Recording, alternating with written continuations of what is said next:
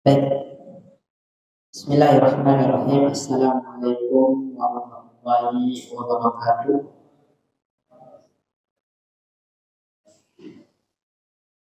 Alhamdulillah. Alhamdulillah rabbil alamin alladzi bi ni'matihi tatimmu shalihat.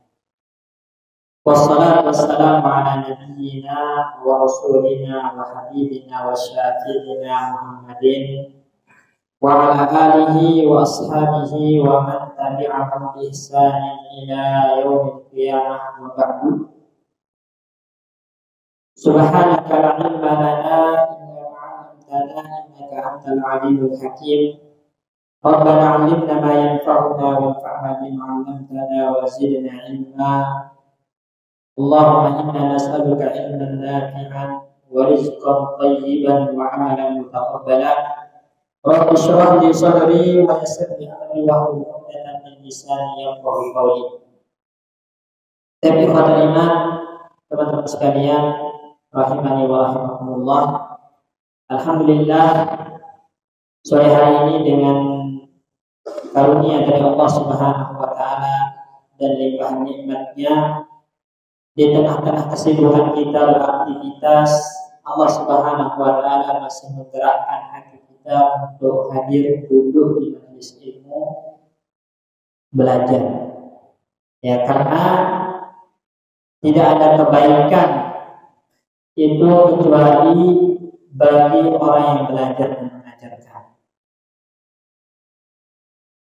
Dan majelis ilmu itu adalah merupakan taman surga serta cara terbaik untuk menghabiskan waktu berharga kita adalah dengan hadir di majelis ilmu sebagaimana disampaikan oleh Imam Nawawi rahimahullah taala Kita akan melanjutkan kembali pembacaan kita terhadap kitab Khamsul atau Qa'idatan Qur'aniyatan Nafsi wal Hayat.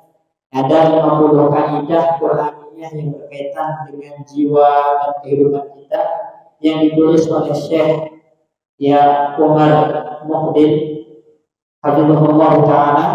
Dan kita akan masuk ke kaidah yang ke-27 kaidah yang ke-27 sebuah kaidah yang dipetik dari surat Fatir ayat ke-18 Allah Subhanahu wa taala berfirman wa man tazakka fa innama yatazakka li nafsihi. Barang siapa yang membersihkan dirinya maka sejatinya itu adalah untuk kebaikan dirinya sendiri. Ayat ini, teman-teman sekalian rahimani wa rahmatullah, adalah merupakan kaidah yang memiliki kaitan erat dengan hati. Dengan hati. Kenapa? Karena hati ini bila kita bersihkan dari kotoran-kotorannya, itu akan membuat hati ini baik dan apabila hati ini baik maka anggota badan pun tak soleh. Sebaliknya kalau hati kita ini penuh dengan kotoran, penuh dengan dosa, kemaksiatan, maka itu pun akan berefek ke anggota badan. Jadi badannya fisiknya, anggota tubuhnya lebih banyak durhakanya, maksiatnya daripada taatnya.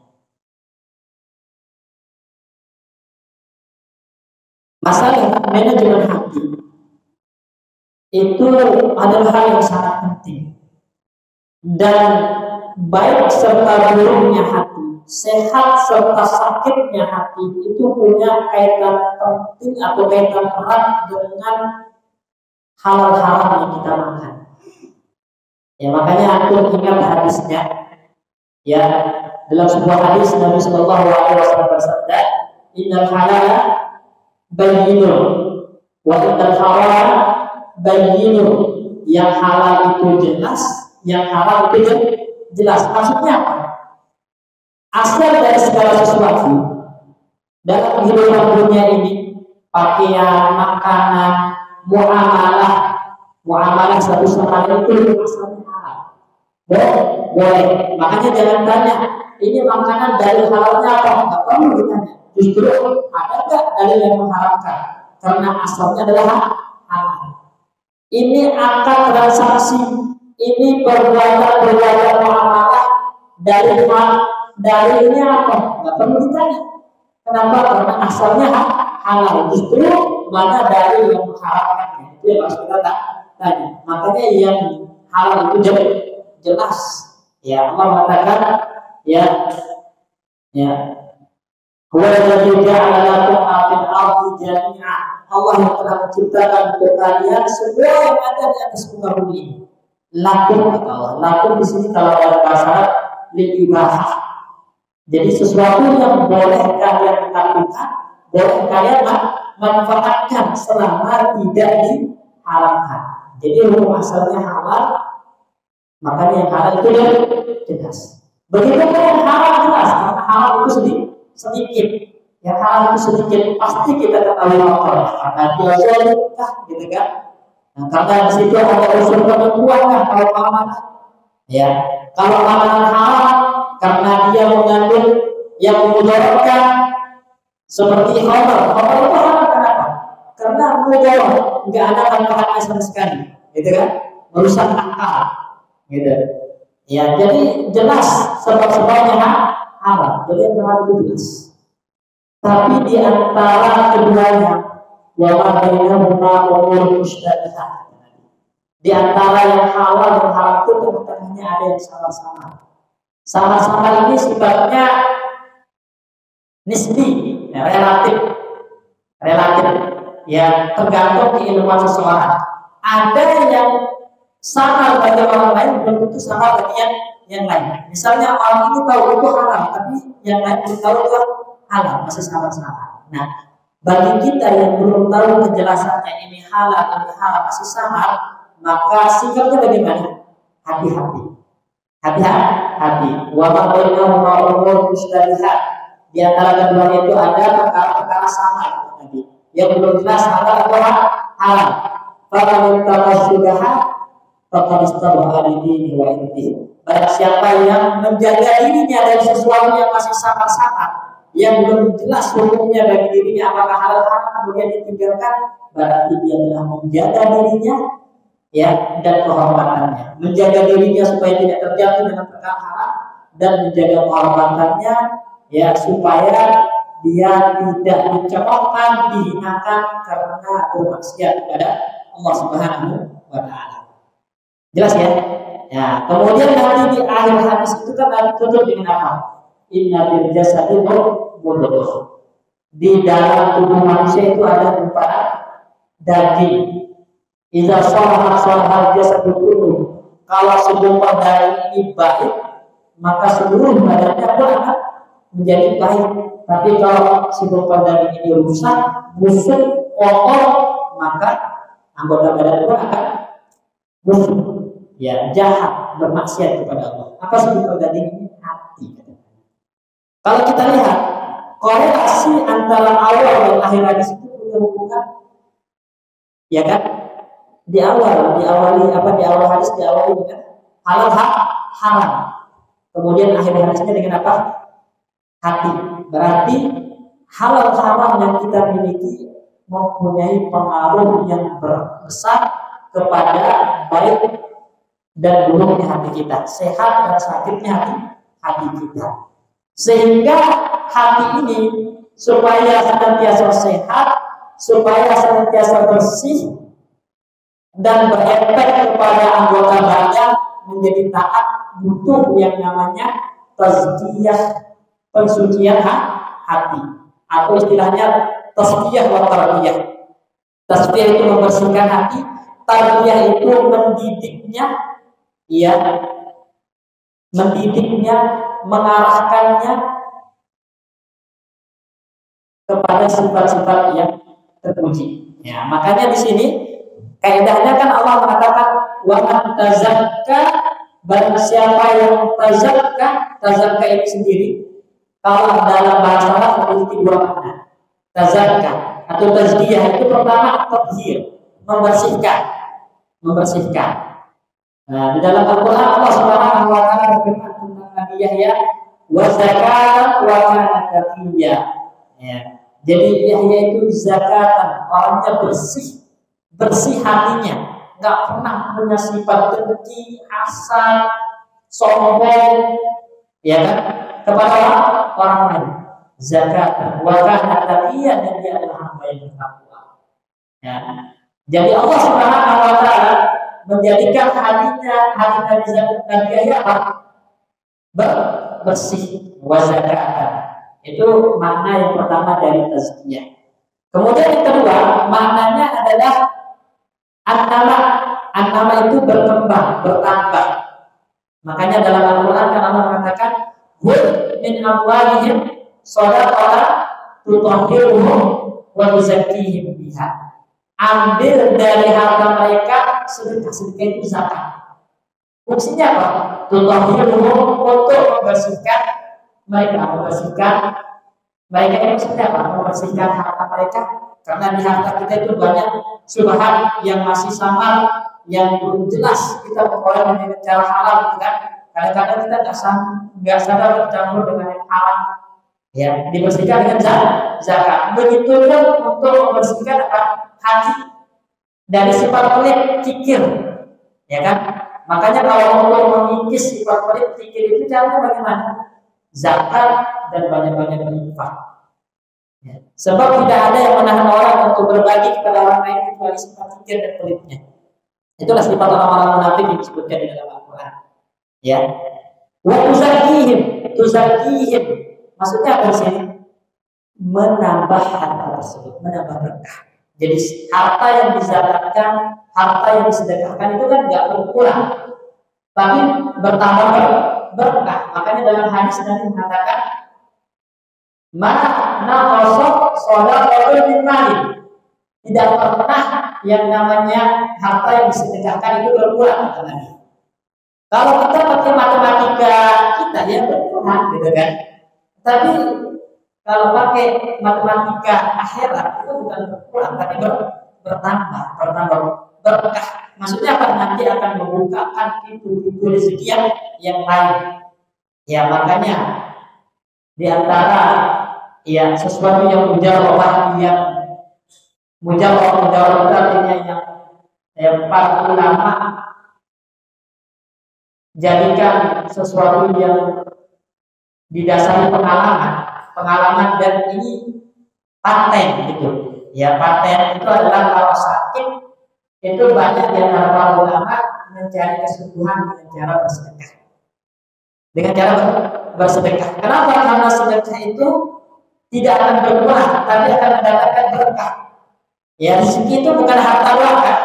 Sehat itu bukan rezeki. Makanya kadang ya Allah Subhanahu wa taala berikan kesembuhan bagi seseorang karena sedekah, yang dia dia lakukan. Sebagaimana dikatakan oleh Imam ya Syekh Islam Ibnu Taimiyah Intinya di sini oh, tidak akan berkurang, tapi bertambah. Makanya makna zakat yang kedua itu kan bertambah.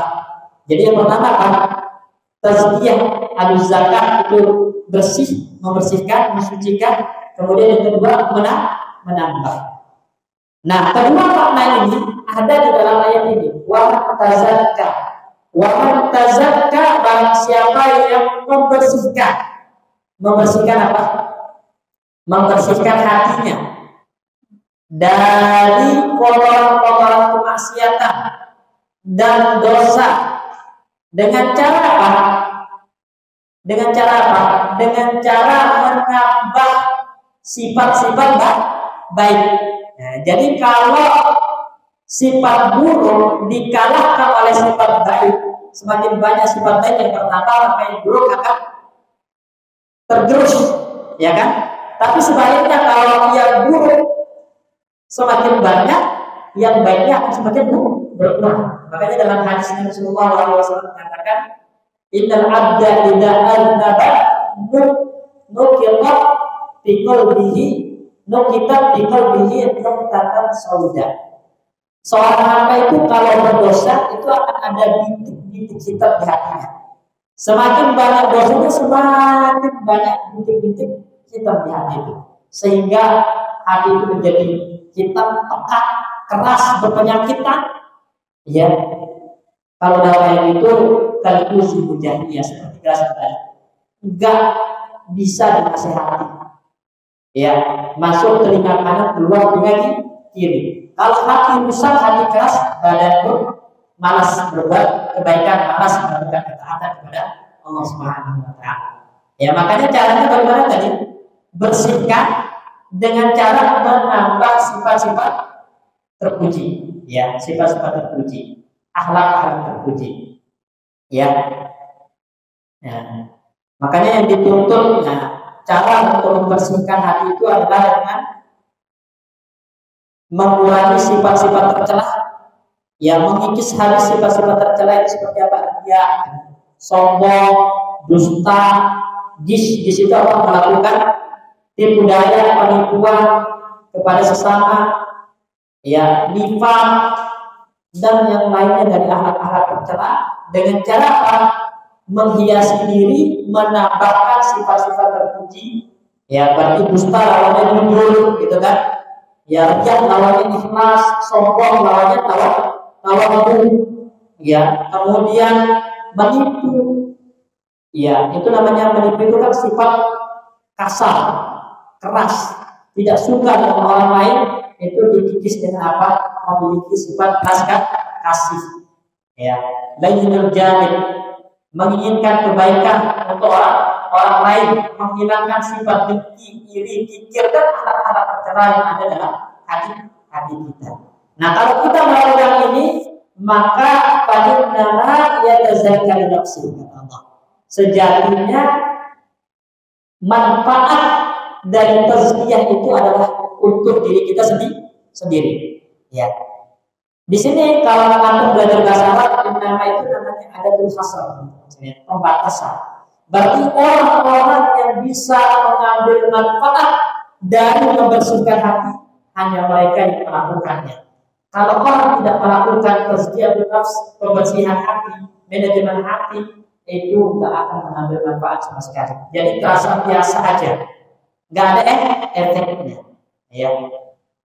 Dan perlu kita ketahui di dalam Al-Quran Allah Subhanahu wa taala banyak menyebutkan ayat-ayat yang memerintahkan untuk tazkiyatun nafas, untuk membersihkan hati ini.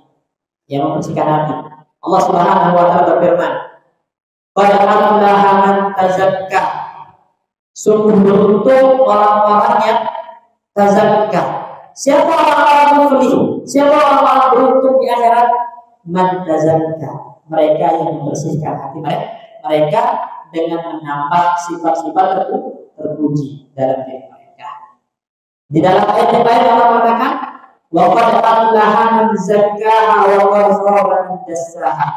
Sungguh beruntung orang-orang yang membersihkan hatinya, mensucikan hatinya dengan cara menambah sifat-sifat terpuji, alat-alat terpuji, tapi sebaliknya sungguh rugi, sungguh hina orang-orang yang mengotori hatinya.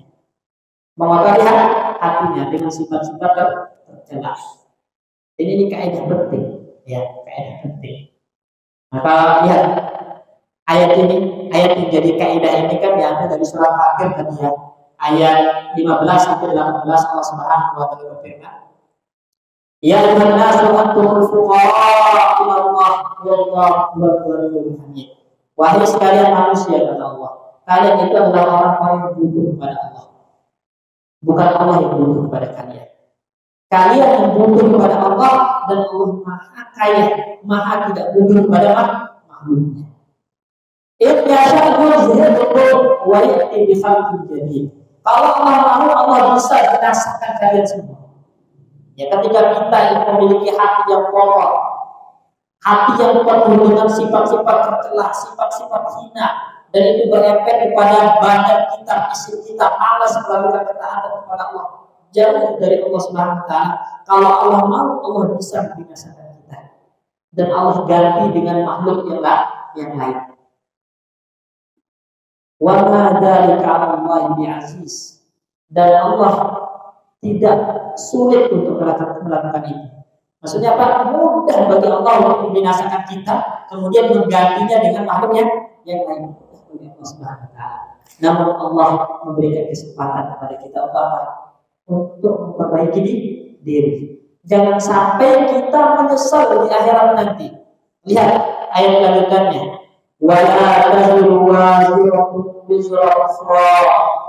Dan ya orang yang melakukan maksiat melakukan dosa itu tidak akan ditampung dosanya oleh orang lain. Siapa yang melakukan dosa dia yang akan menanggung dosanya. Jadi tidak ada namanya dosa ditanggung oleh orang lain. Ya. Anda yang melakukan maka Anda yang akan menanggungnya. Ya. Berbeda dalam sebagian agama kan ada penanggungan dosa, pembebasan dosa-dosa umatnya ditanggung sama nabinya gitu. Ya, sama Tuhannya. Kalau di Islam siapa yang berdosa dia yang menanggungnya. Kemudian wanita iha la Allah. Jika nanti di akhirat ada orang yang sedang keberatan menanggung beban dosanya, jadi beban dosa yang begitu berat ditanggung, kemudian minta tolong memanggil kerabatnya yang dulu di dunia kerabatnya, anaknya, istrinya, suaminya, bapaknya, lalu Tidak ada yang bisa membawakan atau menolongnya untuk menanggung beban dosa ada. Ya bahkan digambarkan di dalam Al-Quran sekalian.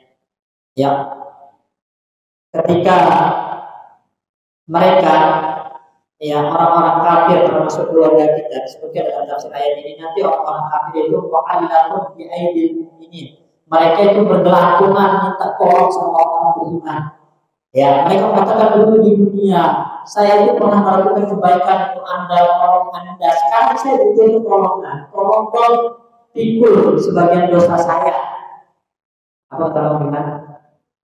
Saya juga lagi memikul dosa saya sendiri. sendiri. Ya. Pada saat ini saya tidak bisa memberikan pertolongan kepada siapa siapa pun. Seorang bapak datang kepada anaknya, wahai anakku, Anak seperti apa kamu ini? Saya tahu kamu adalah anak yang berbakti. Dan saya juga adalah ayah yang berbakti. Yang melakukan hak-hak saya kepada eh hak-hak itu kepada saya. Jika saya tunaikan, saya berbuat baik kepadamu. Sekarang tolong bantu saya di doa saya. Anaknya pun menolak. Karena nggak akan ada yang bisa. La yuhmal min syai' Jadi tidak ada yang bisa memikul dosanya kecuali dirinya sendiri. sendiri. Makanya dalam Al-Quran kan Allah mengatakan, Yawma yafirul maru min wa ummihi wa abihi wa sahibatihi wa banihi likul imri'in minhum yawma idzin sya'an yughni. Yawma yafirul maru min ahli pada hari itu orang lari dari saudaranya sendiri. Wa ummihi wa abihi lari dari ibu dan bapaknya. Wasahbatihi waladihi dari dari istri dan anak-anaknya. Jadi keluarga sanak famili yang kita banggakan, yang kita harapkan menjadi penolong kita supaya bertolong berbagi beban ya menanggung dosa kita semuanya lah lari. Kenapa karena mereka juga tersibukkan dengan urusan sendiri sendiri. Sibukkan urusan sendiri. Jadi anda yang berbuat anda yang akan menanggung dosa dosa di akhirat. Ya walaupun ada kurba, meskipun itu adalah kerabat dekat, itu tidak ada yang bisa menolongnya. Makanya bagaimana caranya kita menolong diri kita jangan sampai dosa begitu berat di akhirat. Caranya bagaimana? Allah mengatakan, Innama tunzir innama tunzir alladziina yakhshawna rabbahum bil ghaib. Innama Tunziru ay innama yaltahidu Sesungguhnya orang-orang yang bisa mengambil nasihat Ya, terkait tentang tidak ada yang bisa menanggung dosanya kecuali dirinya sendiri dan yang mau mengambil nasihat mereka akan takut kepada Allah Taala pada hari kiamat. Takut, ya takut jangan sampai menemui menemui Allah bertemu dengan Allah dalam keadaan dosa yang begitu banyak. Ya. Caranya bagaimana? Lakukan tazkiyatun nafs. Membersihkan diri, diri dari dosa-dosa tersebut dan di antara amalan yang paling besar yang bisa membantu kita untuk membersihkan dosa-dosa kita, memperbaiki hati kita, wa aqamus menegakkan sholat, mendirikan sholat, sholat fardu dan sholat malam yang paling utama dari sholat-sholat sunnah yang lainnya. Ya, jadi alimah, ya itu Qayyim rahimahullah taala kita paling ingat banyak ketika belajar dulu soal sholat ya sholat waktu itu dibaratkan oleh Qayyim seperti apa? Undangan. Ya seperti undangan. Ya undangan perjamuan. Ya antum kalau diundang berjamu itu pasti akan perjamuan pasti akan pakaiannya rapi semangat datang namanya juga udah dimakan makan. Begitu pun kalau sholat yang undang Allah, gitu kan? Ya, maka harus rapi, kudus, tidak terdapat di masjid kata Allah. Ambil pakaian kalian ketika ada sholat. sholat. Kemudian harus senang, bahagia melakukannya bukan menjadikan sholat itu beban. Bahkan dalam hadis, bagaimana pun kalian kata Nabi, ada orang di depan rumahnya itu sungai mengalir. Dalam sehari dia mandi lima kali di sungai kira-kira akan ada kotoran yang tersisa di tubuhnya? Enggak ada, para sahabat. Lantas bagaimana dengan orang yang dipanggil untuk melakukan sholat lima kali sehari? Maka dosanya ber, bergumulan seperti orang yang mandi di sungai lima, kali. Jadi amalan terbesar yang bisa membersihkan diri kita dari dosa memperbaiki hati kita termasuk sholat sholat rajin sholat fardu. Itu harus benar-benar dijaga. Ya dijaga. Ya jangan sampai kita meremehkannya kadang kita meremehkan. Ya nanti nanti nanti sholat. Padahal pada saat itu lagi gak ada kesibukan. Ya bisa aja dia langsung berangkat ke masjid sholat cuma nanti nanti dituduh betul-betul sampai udah habis waktu dan ini dosa besar. Mengakhirkan sholat tanpa uzur itu termasuk dosa besar. Dosa begitu pun sholat malam. Sholat malam ini juga memiliki efek atau memiliki pengaruh fadilah keutamaan menggugurkan dosa-dosa. Karena Nabi Shallallahu Alaihi Wasallam tidak pernah meninggalkan sholat malam. Ya, kalaupun kita nggak bisa sholat tahajud, setidaknya kita sholat di witir satu satu rakaat. Istiqomah, walaupun itu hanya satu rakaat. Karena dalam hadis Nabi mengatakan, ahabul amal ilallah adwa Allah. Amalan yang paling Allah suka itu adalah yang dilakukan secara kontinu terus menerus walaupun sedikit sedikit. Wa aqamus shalah, menegakkan sholat. Wa tazakka wa annama nafsi. Maka barang siapa yang membersihkan dirinya dari dosa, dari maksiat dengan menambah amal-amal kebaikan, menambah akhlak-akhlak terpuji, manfaatnya hanya untuk dirinya sendiri. Sendiri. Ya, dosanya berkurang. Dosanya bersih. Nanti di akhirat beban dosanya berkurang berkurang sehingga tak perlu dia mengemis-ngemis kepada orang lain untuk minta bantuan dosa ini ditanggung ya mengemis di akhirat itu lebih hina ya ya daripada di, di dunia. Kalau di dunia mungkin kadang ada orang iba, ngomong-ngomong gitu kan. Di akhirat yang menolong aku untuk memikul dosa aku? Enggak, enggak ada. Wa yaziru wa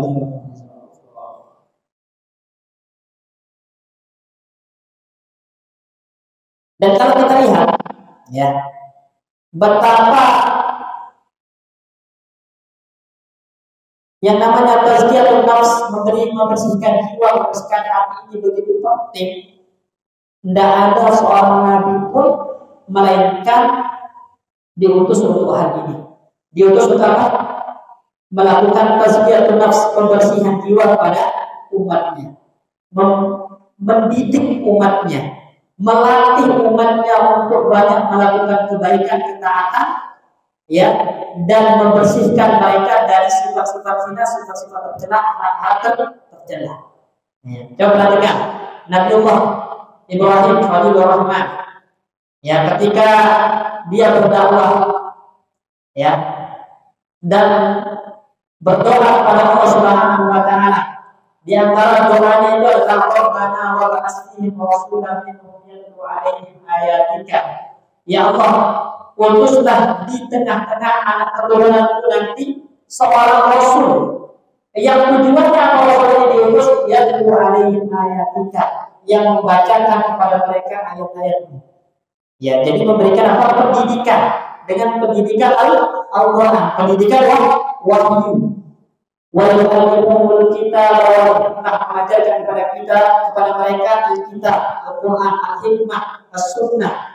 Ya, ya As-Sunnah. Memberikan hidayah, tahu hidayah, hidayah irsyad, ya hidayah petunjuk, petunjuk untuk beramal, hidayah itu taufik ya. Hidayah taufik itu milik milik Allah. Maksudnya memberikan penjelasan-penjelasan. Ya yang berkaitan tentang hukum-hukum Allah syariat-syariat Allah wa yuzakkihim ini tugas yang kedua wa yuzakkihim dan membersihkan mereka dari sifat-sifat tercela dengan cara mengajarkan sifat-sifat akhlak-akhlak terpuji itu tugas para nabi. Dan begitu pun ya Nabi Musa ya ketika datang kepada Firaun ya Allah Subhanahu wa taala menyuruh kepada Nabi Musa ketika menghadapi Firaun, "Hal laka ila tazakka wa ahdiyaka ila rabbika fatahsya." Ya wahai Firaun kata Musa. Dan dengan perintah Allah, ya Musa menyampaikan kepada Firaun, "Hal laka ila tazakka?" Maukah kamu itu tazakka, membersihkan diri dari sifat sombong, sifat congkakmu, ya kan? Yang mengatakan anak A'la, saya kan kalian yang paling tinggi. Ya. Supaya kamu mendapatkan petunjuk dari Rabbmu dan kamu takut kepada Allah Subhanahu wa taala. Karena orang yang takut kepada Allah itu pasti orang yang melakukan tazkiyah nafs, pembersihan diri dari maksiat dan dosa. Ya. Dan juga yang paling agung di dalam Al-Qur'an dalam Al-Qur'an teman-teman sekalian tentang tazkiyah nafsinya adalah Allah Subhanahu wa taala dalam surat Asy-Syams itu 11 kali bersumpah. 11 kali bersumpah, bayangkan. Allah bersumpah 11 kali. Untuk apa? Untuk tazkiyah nafs. Untuk agar hamba umatnya, hambanya ini melakukan tazkiyah nafs, pembersihan diri dari kemaksiatan, dari sifat-sifat hina dan Ya. Baik.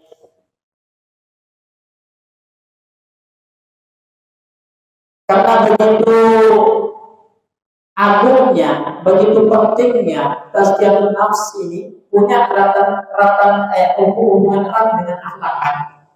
Karena yang namanya akhlak itu berkaitan erat dengan akidah.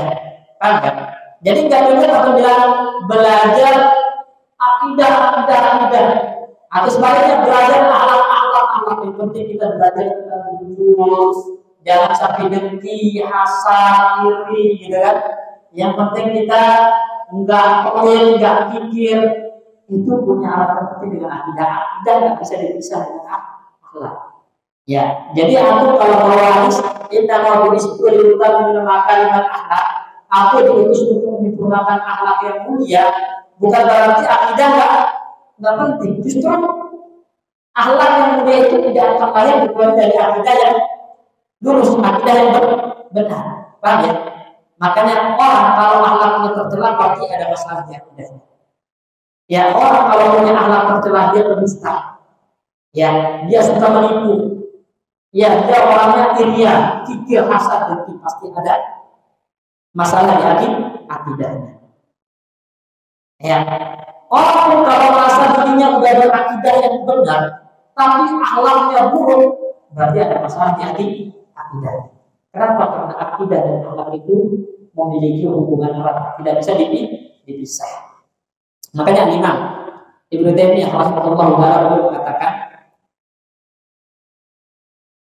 يأمرون بالصبر عند البلاء والشكر عند الرخاء ويدعون إلى مكارم الأخلاق ومحاسن الأعمال ويعتقدون معنى قوله أكبر المؤمنين إيمانا أحسنهم خلقا ya dan mereka memerintahkan kepada kesabaran ya jadi di antara sifat-sifat akhlak-akhlak halus sunnah yang disebutkan dalam bab-bab akidah itu memerintahkan kepada yang sabar. Karena sabar itu ah, akhlak. Bersyukur ya, melakukan akhlak-akhlak yang terpuji. Kenapa? Karena iman yang sempurna itu adalah orang akhlaknya bah, bagus. Karena dia mengatakan amalul mu'minin iman asal umum Iman itu akidah kan? Iman itu akidah. Jadi antum kalau imannya naik, itu baru memiliki keyakinan yang bagus. Kapan tapi iman naik, keyakinan bagus ketika ahsan hukumullah yang paling bagus nah akhlaknya. Jadi kalau akhlaknya itu imannya bermasalah gitu kan. Kalau imannya bagus, akhlaknya bagus, harusnya seperti itu. Karena Nabi mengaitkan antara akhlak dengan iman. Ya, akmalul mukminin imanan, mukmin yang paling sempurna imannya, asal khuluqo yang paling bagus lah akhlaknya. Jadi punya hubungan erat iman, akidah dengan akhlak. Ya, makanya kalau amalan zahir seseorang itu kurang, amalan zahir itu maksudnya akhlak-akhlak pengingainya yang terlihat oleh mata itu kurang, kurang bagus, jelek, buruk akhlaknya, maka itu menunjukkan ada kekurangan dalam batinnya, dalam hatinya, dalam hati akidahnya. Sebaliknya, kalau amalan zahirnya itu, masya Allah, akhlaknya luar biasa, bagus, terpuji akhlaknya, itu menunjukkan akidahnya bagus, imannya bagus, gitu. Ya. Jadi akan lihat kesimpulannya, kesimpulannya teman-teman sekalian, penting untuk melakukan apa? Pembersihan di diri dengan cara membersihkan hati, memanajemen hati kita, mensucikan hati kita dari dosa dan kemaksiatan serta sifat-sifat tercela. Kemudian kesimpulannya tadi di antara amalan-amalan yang bisa membantu kita untuk melakukan tazkiyah nafs itu pertama adalah tauhidullah.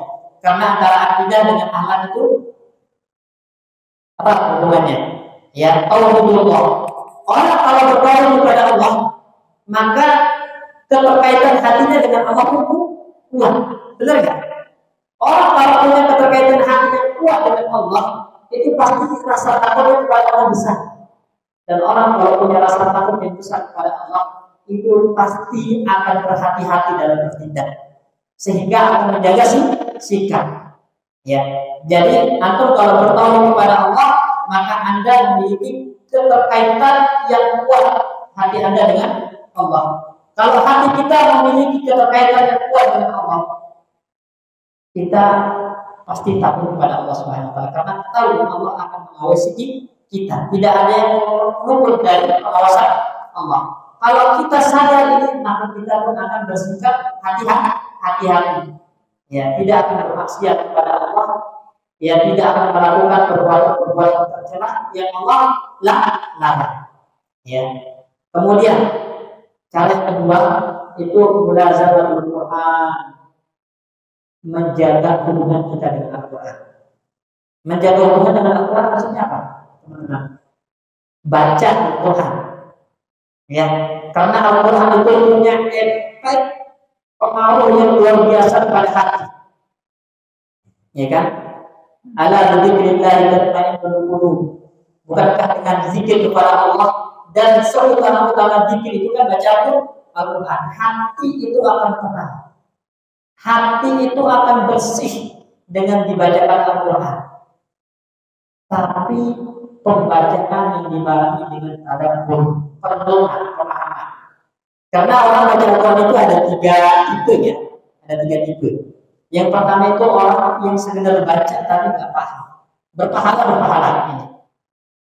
Ya, berpahala ber, berpahala tapi kurang kurang sempurna. Antum tahu sekte Khawarij? Tahu ya? Khawarij itu adalah kelompok dalam Islam yang gemar mengkafirkan sesama karena dosa besar. Karena dosa besar itu udah ada dari semenjak zaman para sahabat benih-benihnya. Bahkan dari zaman Rasul sudah ada benih-benihnya. Rasulullah mensifati mereka itu sangat luar biasa ya mereka kalau sholat kalau kalian lihat sholat mereka kata Nabi kalian akan menghafal mereka sholat kalian karena sholat mereka itu luar biasa ya. Disebabkan rasa takutnya itu besar. Nggak berani berbuat mak maksiat. Karena kalau maksiat itu kafir katanya. Akhirnya nggak berani coba bermaksiat. Dan taatnya luar biasa kepada Allah sholatnya luar biasa baca Al-Quran luar biasa puasanya luar biasa. Namun Nabi mengatakan la yaqra'u al-Qur'an la yatajawazu hanajirahum. Mereka baca Al-Quran tapi sebatas sampai tenggorokan, enggak sampai hati, enggak dipahami, dipahami. Ya, namun tetap mereka dapat pahala dari membaca Al-Quran karena Al-Quran ini setiap huruf kita baca berapa? berpahala, tapi kurang. Makanya pembacaan Al-Quran yang paling bagus itu apa? Dengan disertai tadabbur. Itulah tujuan Al-Quran yang diturunkan. Apakah yang ada baru dalam Quran, apakah dulu tidakkah mereka Al-Quran Al-Quran mereka yang berkewajiban mati Ibnu Qayyim mengatakan turunkan Al-Quran itu tujuan untuk kita tadaburi, pahami, renungi, amalkan. Ada untuk membaca dan menghafal itu sebagai wasilah saja, sebagai perantara saja. Jadi banyak-banyak baca Al-Quran tapi dengan disertai perenungan, dipahami, dikaji tafsirnya. Ya, supaya apa? Supaya hati ini bisa mengambil manfaat. Ya, manfaat, meresapi. Karena hati yang tidak mentadaburi Al-Quran itu hati kunci mati kan. Apalagi yang baru Al-Quran. Tidakkah mereka mentadaburi Al-Quran? Am ala atau hati mereka yang kotor kunci mati. Berarti untuk membersihkan hati, untuk menghidupkan hati, untuk memperbaiki hati, baca Al-Quran dengan cara kita kita dahului. Ini yang kedua, amalan yang bisa membantu kita. Kemudian yang ketiga zikir ya secara umum.